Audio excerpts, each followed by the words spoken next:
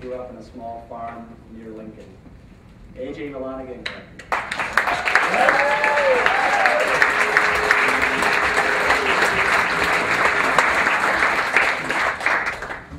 Well, um, after Renee's beautiful story and her uh, obvious respect and connection with animals, I'm feeling a little bit bad about mine. so maybe she can give me some tips after this.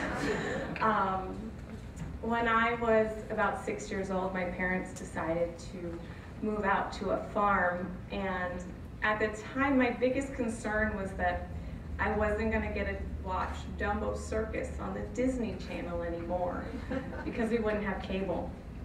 Um, my mom was a is an extraordinarily smart woman, so she had started taping the episodes like two to three months in advance of the move. Um, but still, I knew that eventually I'd get tired of the reruns and I was going to need some more excitement.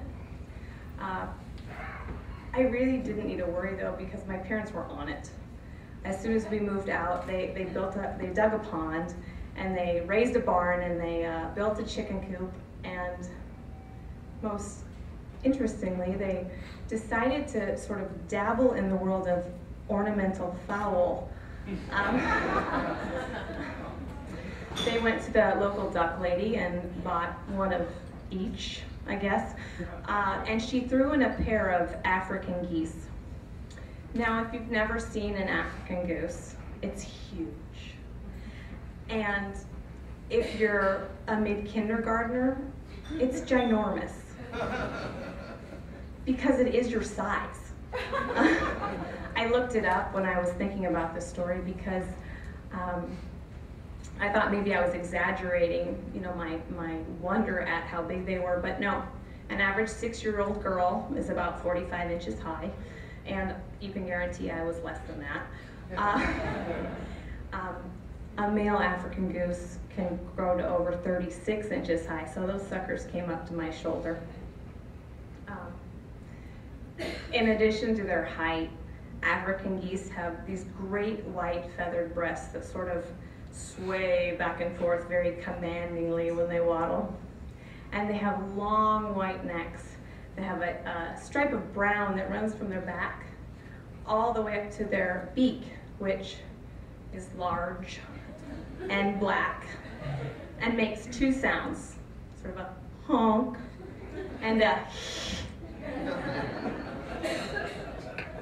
In my opinion, they are not a charming addition to any backyard farm.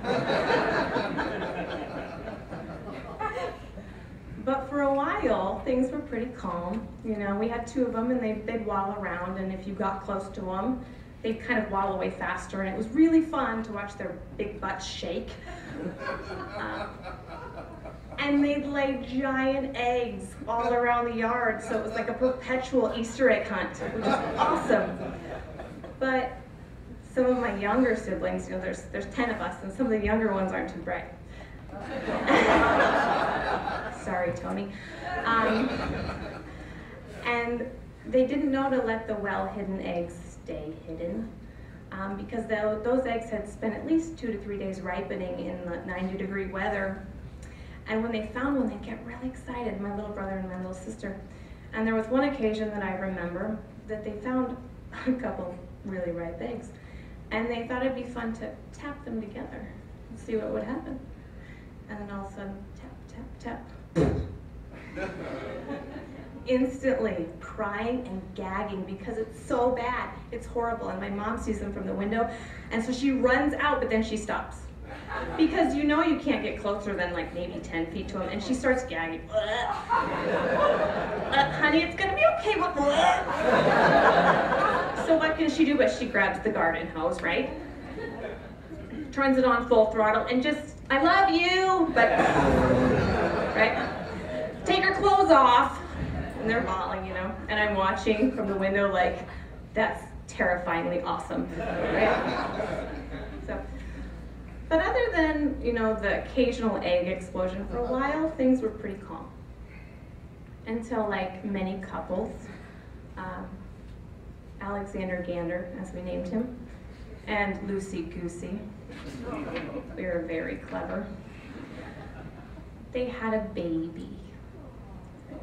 And they became psychotic.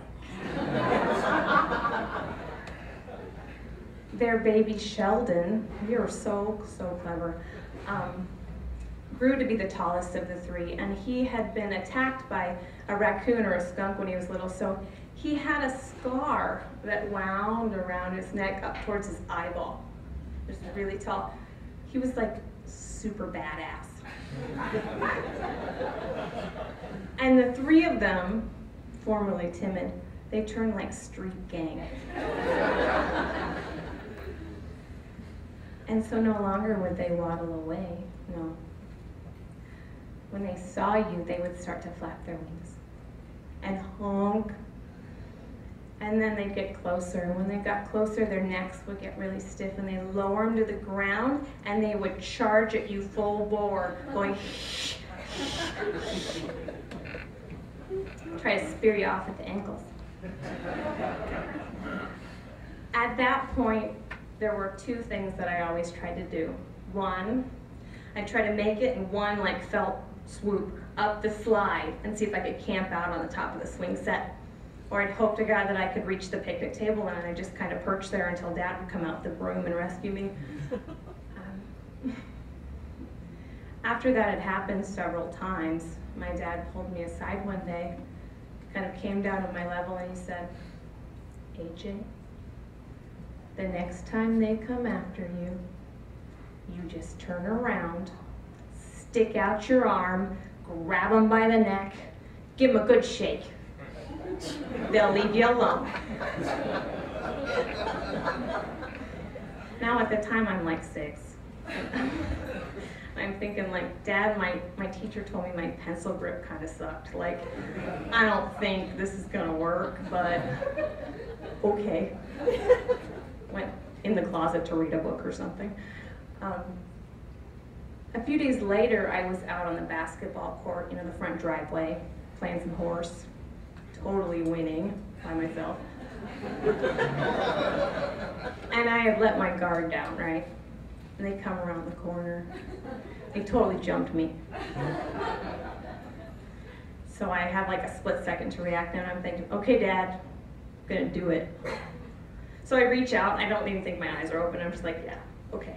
And I got one, sweet. All right. Now at that moment, two things happen. One, scare the crap out of the other geese, and they're like, we're out. Like, she means business. And then I realize, I caught one. now I have Sheldon like six inches from my face going, now what? And I realize in horror that my dad didn't tell me step three. step one, grab the goose. Step two, give him a little shake. Step three, nope. Nothing there. So I think, okay, maybe I can just drop him and run. But no, he is pissed. And he would probably just eat me. So I kind of scoot over a little bit because I'm by the house and I just do the next best thing and I start going, banging on, this, on the siding going, ah, please help me. Seconds, hours, I don't really know which. My dad comes out, and I think as soon as I see him, I just drop the goose and I run to him. But in my six-year-old mind, I, I, I imagine him sort of picking up Sheldon and punting him across the yard in some sort of feathered football, you know, very bravado. Um, whatever really happened, I don't know, but after that, my parents realized that the benefits of having ornamental geese were probably not uh, equal to the cost of the therapy that I was going to need if they sticked around. So my dad made a few calls and he found the name of a guy who had a traveling petting zoo. Called him up and said, we got three geese for you. Beautiful, free. One stipulation, no receipts, no returns. As soon as they're gone, they're out. Came and picked them up the next day. Um, we checked the papers for a few months after that, just to you know, see if there were any incidents. Uh, but we never heard from them again. I can't say that I ever missed those geese. But I can tell you that they taught me a lot. By seven, I had discovered that even though I was small, I was ballsy. And that sometimes that was great, but that other times it was better to back down. And sometimes it was okay to just hightail it and run. More importantly, I learned that my parents were not always right. But that when it really mattered, they totally come through. And they've proven that for several years. And I'm really grateful for that. Thank you.